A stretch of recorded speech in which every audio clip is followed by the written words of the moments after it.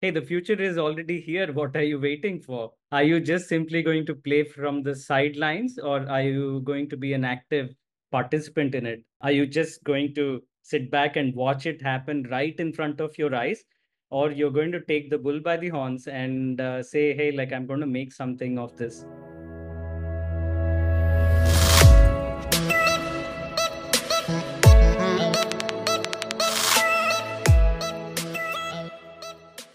Praveen. Welcome to the Scope Forward Show. How are you? Hi, this feels weird, but thank you for having me. It's great to have you here. Praveen, this is your third book. So, the first question I want to ask you is what inspired to write this book? It's been three years since I've been at it. And like somebody I had interviewed, incidentally, an author that I had interviewed had told me that if you really want to give yourself a lot of pain and suffering, you should attempt writing a book. And it does feel like that because I started and stopped so many times this book. Like I thought I'd finished. I even declared on the internet on LinkedIn that, hey, like, you know, I had finished the book. But none of that happened. I've rewritten this again and again and again. What prompted me to get on this journey was the interviews that I was doing on the Scope Forward show. When I was talking to all these different innovators, like, you know, 99% of them are either scientists or physicians, and they're innovating. They're really thinking differently about gastroenterology and healthcare. And when I did all those interviews, it led to the insight that, you know, the future is not something that is far in the distance in the future. The future is here and right now and maybe we're missing that point we just haven't connected the dots but when we connect the dots it'll become as obvious and as apparent as, as it has been to me that the future is already here we just need to take action and recalibrate our systems to stay relevant and that's what got me going with the book So, Praveen, this leads me to the next question. Why do you think now is the correct time to launch this book? How did you arrive on this theme? What patterns did you notice in the industry which made you think that something needs to be done about it? many people in the audience they may know that after the launch of scope forward which was in the peak of the pandemic i started a leadership program called the gi mastermind. Now i never knew what gi mastermind would turn out to be. I just had a hunch or a, an inkling on you know what the potential of it can be I wanted people to take action based on the learnings and insights from Scope Forward. And I thought if I can facilitate that and help people see the future from the lens that I was seeing, then there wouldn't be any fear about the future, but there would be excitement and people would treat it with a sense of adventure.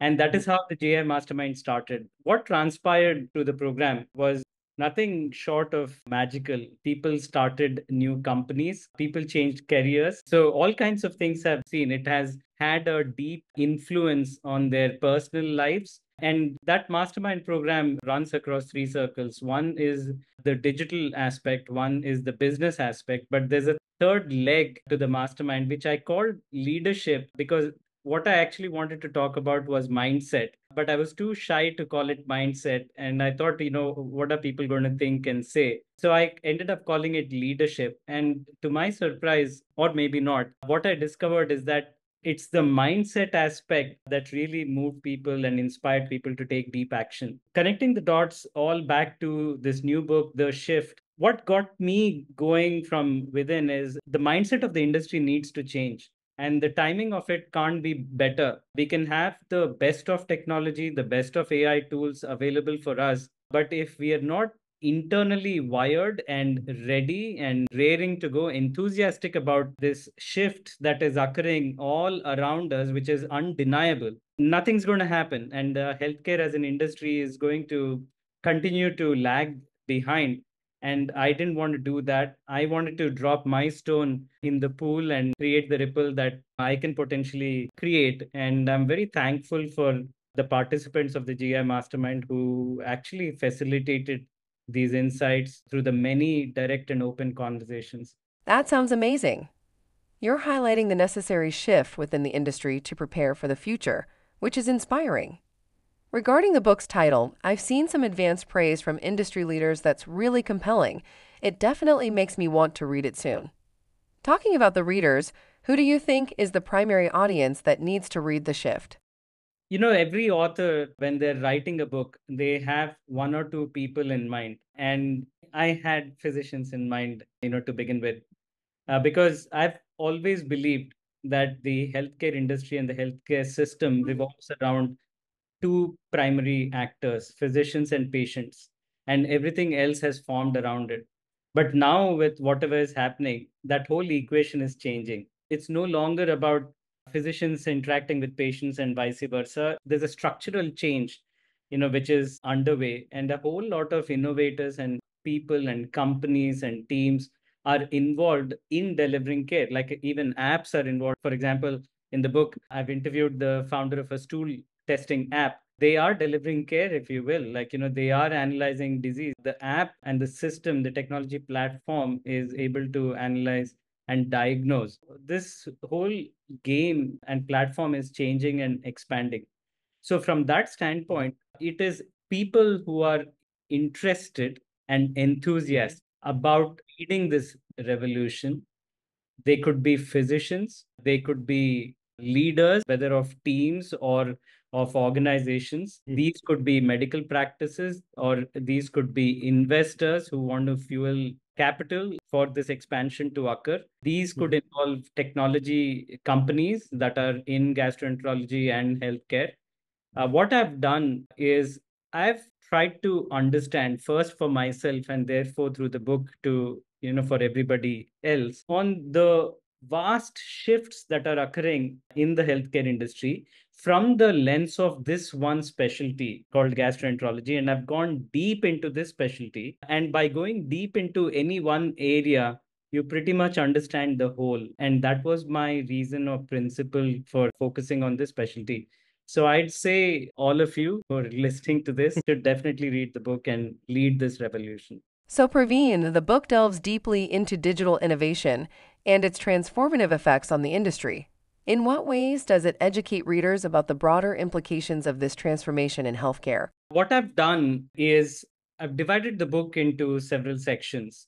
The first section has four chapters and it presents a conceptual framework across the digital landscape, across the business landscape, which particularly talks about taking advantage of these exponential technologies for your business so that you can save costs, increase sources of revenues, and attract greater capital to your ideas and what you do. The third aspect is mindset. If you look at the industry, physicians in this field of healthcare is one of the most stressed out fields, and particularly physicians. It, some of the statistics are quite shocking, and some of the comments I came across in the Medscape surveys on physician well-being are shocking. And I was thinking, you know, if, if the primary actors in healthcare uh, who are currently leading the system, if their mindset is not geared up for leading, then you can have the best of AI tools. It's only going to magnify what exists instead of helping situations. So that's the third chapter. And the fourth one is I'm reimagining gastroenterology care about a decade from now. Through the lens of GI care, you will be able to understand how all of healthcare is going to function and this isn't a pie in the sky. The process of actually reimagining was quite interesting, even for me. First of all, it started with understanding the broader trends of where the all the industries are going as far as technology, AI are concerned. And there are several new industries that are going to be born that we don't have an inkling of right now, or we are not thinking, for example, the microbiome space could be a, an industry of its own, but it could be. First, I laid that out very clearly. And then what I ended up doing is I worked with one of the AI large language models and gave it all the interview transcripts and everything that I had done with these various innovators. Now, this was technology that is here and now. We went back and forth to come up with a model when you project all these innovations into the future, five, ten years from now, what might that look like? And then we came up with this. I say we uh, because it was both AI and I doing it together. And then I vetted it with uh, clinicians, and that was also superbly helpful. So that's the first section. But the other innovations are presented. Like if you look in gastroenterology, you will find AI, you'll find robotics. you'll find new care models. You know, there's a company that is completely virtual GI care. There's actually more than one. There are people who've taken entrepreneurial tracks, who have changed careers.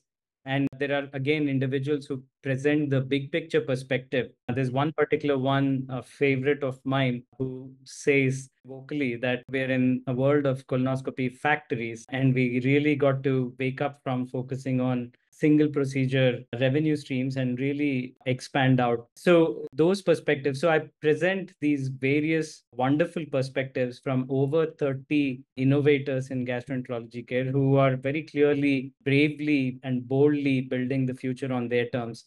So, I bring that home in the form of this book, The Shift. And that's what collectively is going to educate the industry. That sounds fantastic. Praveen, Based on everything I've heard about this book so far, it doesn't appear to be your typical healthcare book. It feels quite unique.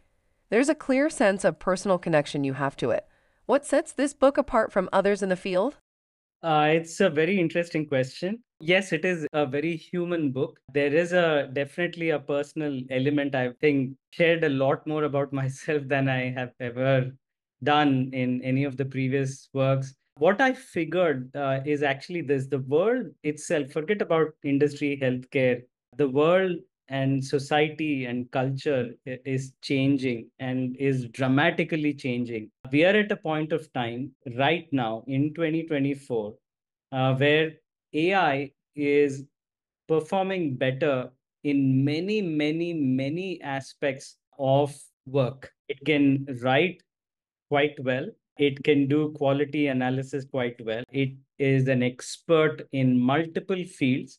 It can program and find bugs in software programs. It can diagnose disease codes. It can structure medical notes. As we all know, it has passed the medical licensing exams and the legal exams and you know whatnot and this is just the beginning. We've barely scratched the surface. Fast forward next year and the few years after that it's going to be on again quoting elon musk double exponentials. So this is going to rapidly expand at a scale that humanity has never seen so far and it would be naive to imagine that healthcare and particularly gastroenterology will not be affected by this wave that is occurring. Now, that is the context. When you look at this context, when so much of everything is going to be technological and machine driven, what we actually want as people is a human connection. And it's not a transactional business conversation. I think we have enough of that. And ChatGPT can do a wonderful job directing you on uh, several aspects uh, at the surface level.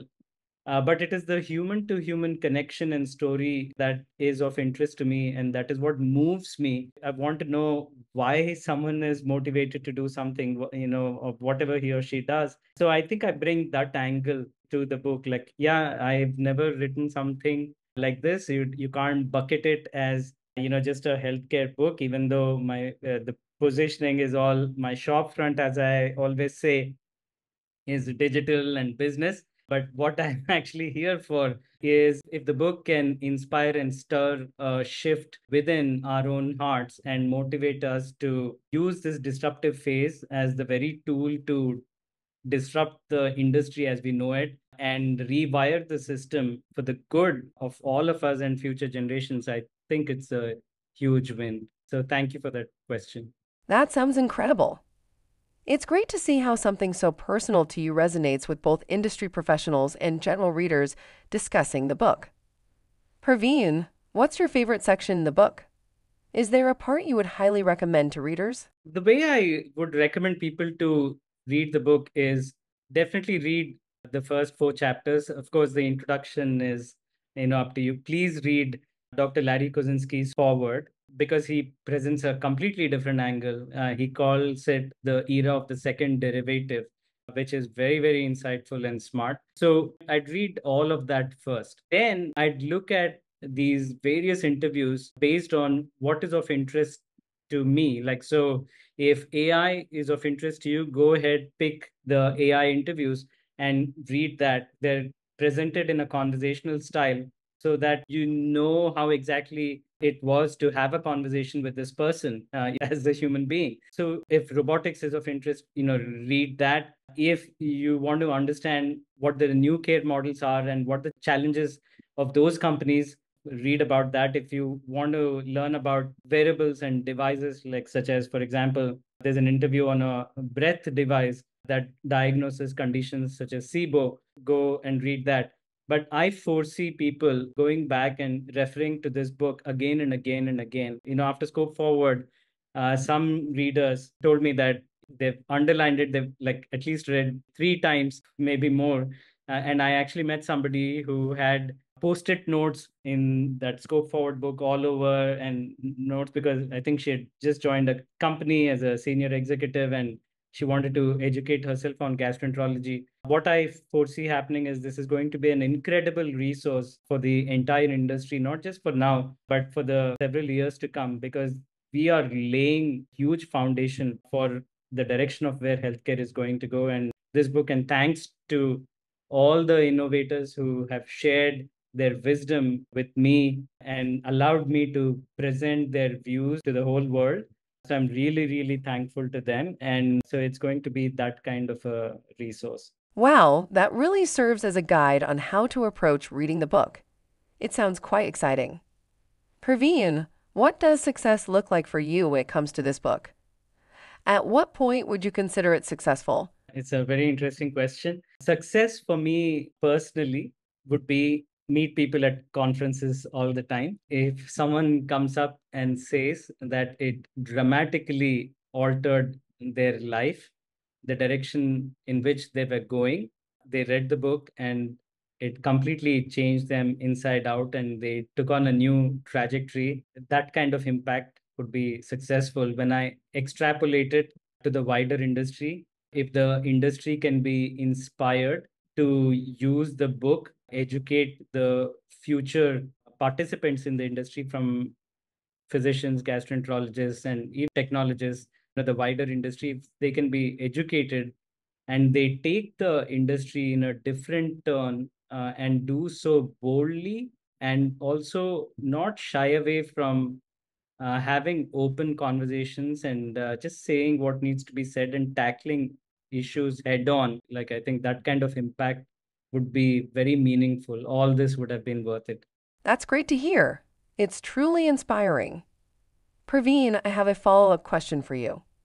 Imagine you had a huge blank banner that everyone in gastroenterology or healthcare could see.